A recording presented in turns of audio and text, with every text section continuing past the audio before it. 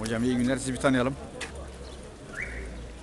Ben uzman sınıf öğretmenim İlk Yönlerli Pediz. 13 senelik öğretmenim. Hakimiyet İlk Öğretim Okulu 4A sınıf öğretmenim. Mesleğimi ve öğrencilerimi çok severim.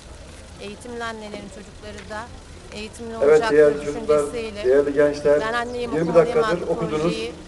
hayata geçirdim. Ümit ediyorum sizler az önce de belirttiğim gibi pazartesi günleri 3 bir ile 4 çiçekle bahar olmaz diyenlere bir çok saat güzel bir cevap okuyoruz. verdiniz. Pastalı börekle, Ama soba başlarında, komşularda Bahar da bir çiçekle başlar diyoruz.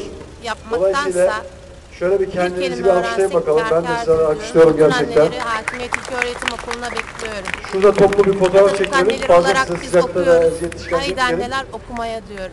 Teşekkür Tamam ederim mı? hocam. Evet yaşlı sizi tanıyalım Bu bakalım. dördüncü Kaçıncı sınıflar değil mi? sınıfsın? Dördüncü sınıflar. Ben 3 A Dörtler değil mi? Adım Furkan Koç. Üçler de var mı?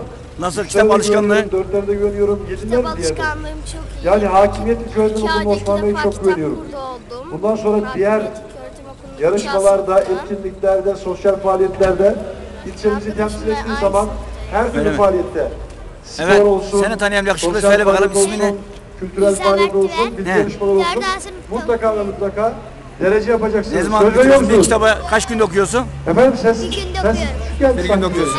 Evet. Aferin. Evet, Evet. kızlar. Hadi bakalım gelin şöyle bir fotoğraf çekelim. Topluca ondan sonra size Şen, dönün. 4 A sınıfında okuyorum.